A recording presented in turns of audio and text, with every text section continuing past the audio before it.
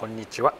平井弘明です。今回はですねドライバーの上級者向けの球の内訳について解説していきたいと思います。ウェッジアイアンフェアウェイウッドって、まあ、上級者向けとしてやらせていただいてるんですけども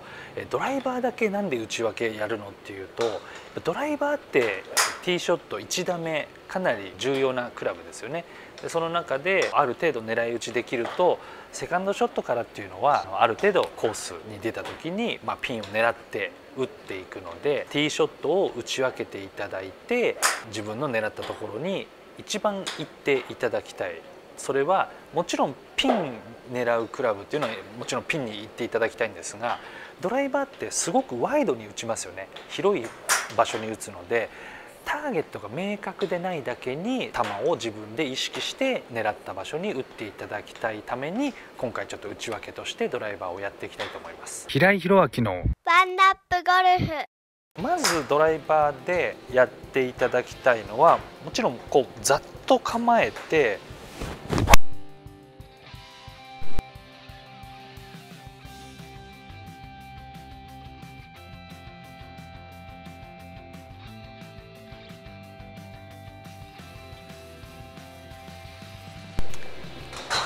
パチンと打ってなんとなくやっぱりまっすぐ行く打ち方ショットっていうのをまず打っていただきたいんですよね。それなんでかっていうとターゲットが何もなくてですね狙いどころが定まらない。あとはですねちょっとコースが狭すぎて狙うにもどこ狙っても木に当たっちゃいそうとかですねそういう時に今みたいにちょっとこう軽くさらっと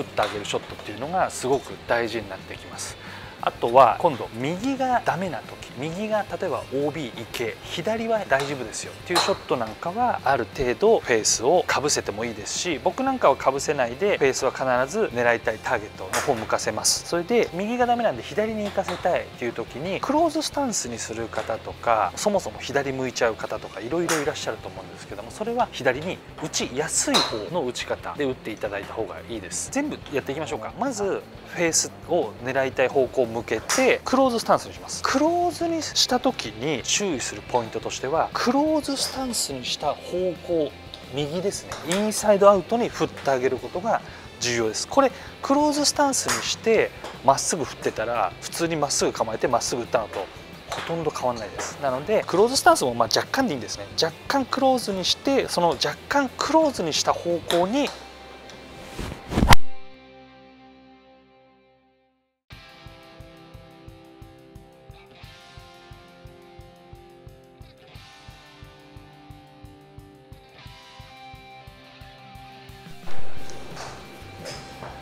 打ってあげるとドローボールが出やすいです。今のなんか結構いい球ですね。今度は左に曲げる時にそもそも左を向く人。左を向いてそのまま左向いた方向に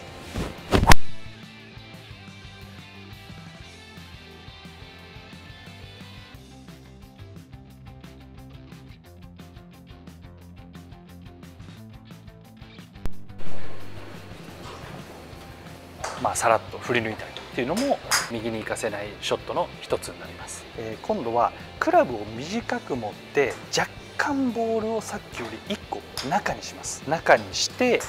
ちょっとコンパクトなスイングを意識して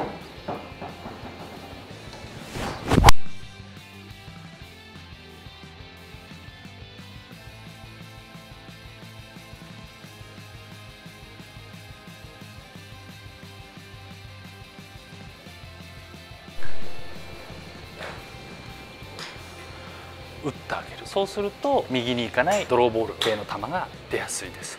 で今度は逆です。左に行かせたくない。ボールを右に行かせたい時っ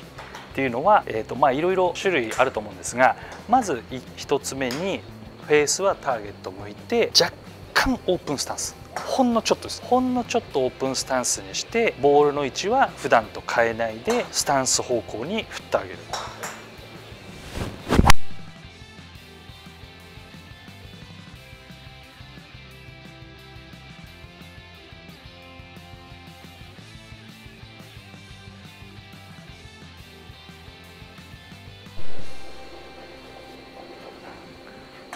そうすると右に曲がりますね。あとは結構左を向きます。結構左向いてフェースはターゲット。向いてちょっと大きいスライスの意識ですね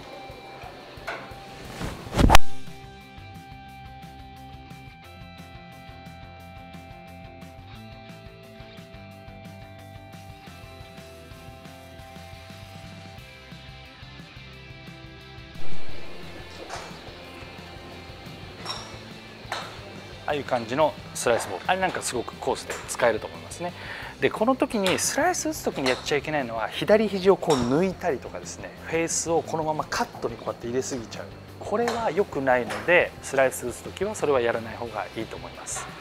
あとは先ほどのドローと一緒でクラブを短く持って少しオープンスタンスにしてボールの位置そのまんまでこれもコンパクトに振ってあげる。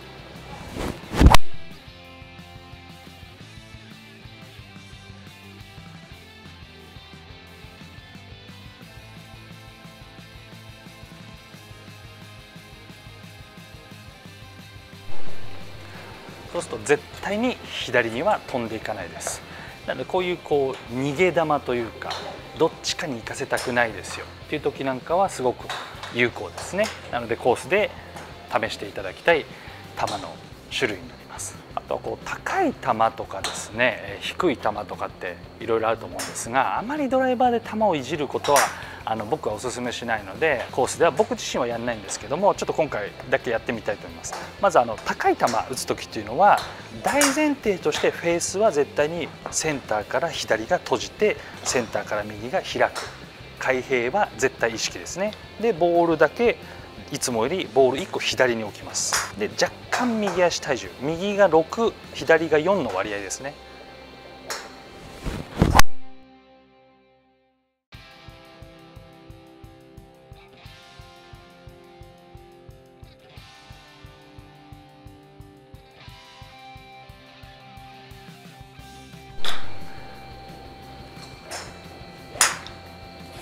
そうすると高い球が出やすいです。で次逆にこう低い球。低い球の場合は若干こうダウンブロー気味とかですねボールをちょっと潰しに行くような感覚で打ちますので若干スライスというかフェードボールが出てもよしとしてちょっと打ってみたいと思います。いつもよりボールポジションがボール1個中真ん中ぐらい。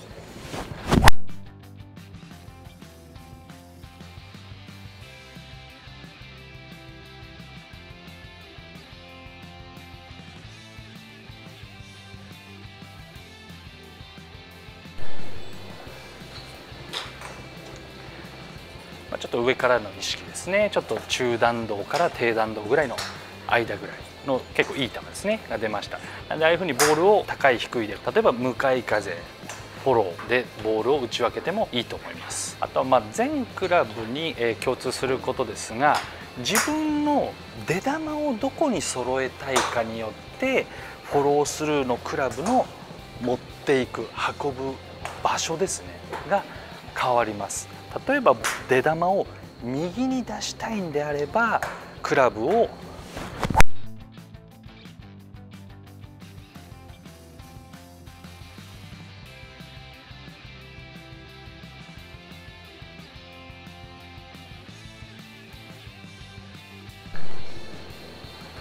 アウトサイドに出しますしこう左に出したいスライスボールとか左に強い球打ちたいなという時なんかはフォロースルーでクラブヘッドを左に出します。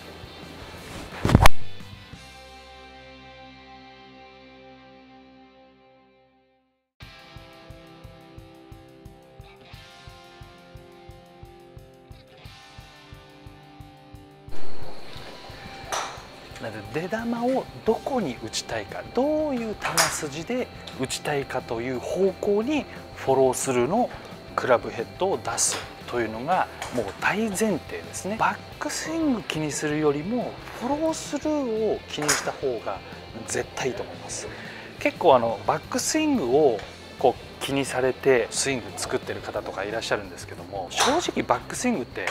助走なのでそこまで重要じゃないですね。むしろそれよりもダウンスイングからフォロースルーにかけてのクラブの動き方の方がすごく重要なのでフォロースルーの取る位置ですよね。そのクラブをどこに運ぶかというのを意識していただいた方がいいと思います。インスタグラムとかですねツイッターとかでバックスイング結構気にされてるんでバックスイング綺麗な人結構多いんですよ。ただフォロースルーをどこにクラブ持っていくかを意識されてる方って少ないのでフォロースルーの形がもうちょっとこうしたらいいなとかですねそういう動画って結構見るんです。なのでやっぱりフォロースルーの取る位置クラブの運ぶ位置ですね。そこを意識していただいて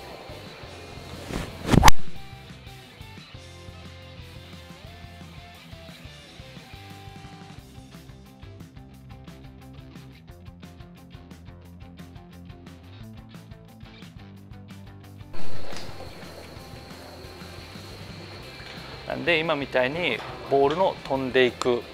場所をイメージしてそそこに向けて右腕とクラブを向けてあげるというのがすごい大事ですのでそのイメージですよね。をドライバーショットなんかにもどんどんどんどん出していただいた方がいいと思います。あとはドライバーの練習方法なんですができればコースを想定していただいてこだわりを持って練習していただいた方がいいと思います。それはもうもちろんウェッジアイアンヘアウェイウッドドライバー全部そうなんですがターゲットがあるならば必ずターゲットに向かって打っていただく。なかなかターゲットがないんだったらドライバーでしたら奥の柱とかですね鉄柱に向かってその鉄柱と鉄柱の間に打つとかですね。結局コースではそういうことをやりますよね。そのフェアウェイのどこに打つとかってやると思うのでそういう練習なんかでもコースを想定して打っていただく練習っていうのが絶対コースでは必要なので普段からそういう練習を癖づけるというのが大事になってきます。なのでこういろいろドライバーなんかも感性を大事にしてですね自分の感覚